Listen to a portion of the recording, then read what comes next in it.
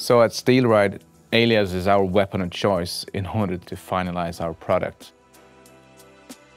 Stilride in Stockholm, probably known for the bike, uh, Stilride 1.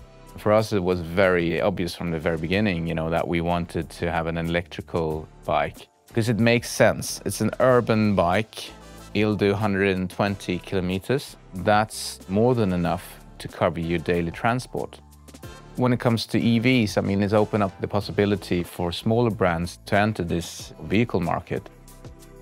I had an idea about folding sheet metal, but not in straight lines, but with curves. Going from flat sheet to, the product, but make that as few steps as possible with the highest level of refinement. So Stilride is the, the brainchild of that. And the bike, which is our brand builder, but also proof of concept. And now we expand into other areas. So why curve folding? Normally, when you fold things over straight lines, you can see both sides of the fold, they're independent. The opposite thing happens when you curve fold. You create a system. When I fold this on one side of the curve, the other one uh, side of the curve will actually follow. What we did there is that we used the curve folding itself to create the mechanical strength and we managed to design the bikes with only nine parts.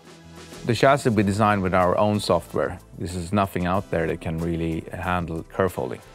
But then when it comes to the other traditional things like mastering Class A surfaces, we're very, very much concerned about the design and the appearance of our products.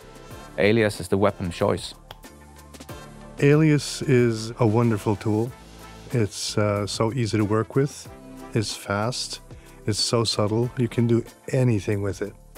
The handlebar is a really complex piece because it goes from a cylinder shape to a sort of a wing shape and then back to a cylinder shape. It also bends upwards and backwards and turns down again. So the analysis tools are extremely valuable. We use light tunnel, zebra, isophotes, the curvature plots everywhere to see if I could make the, the lines flow. It's like music. It has to flow, it has to have a harmony. I couldn't have made that without Alias. It has such control.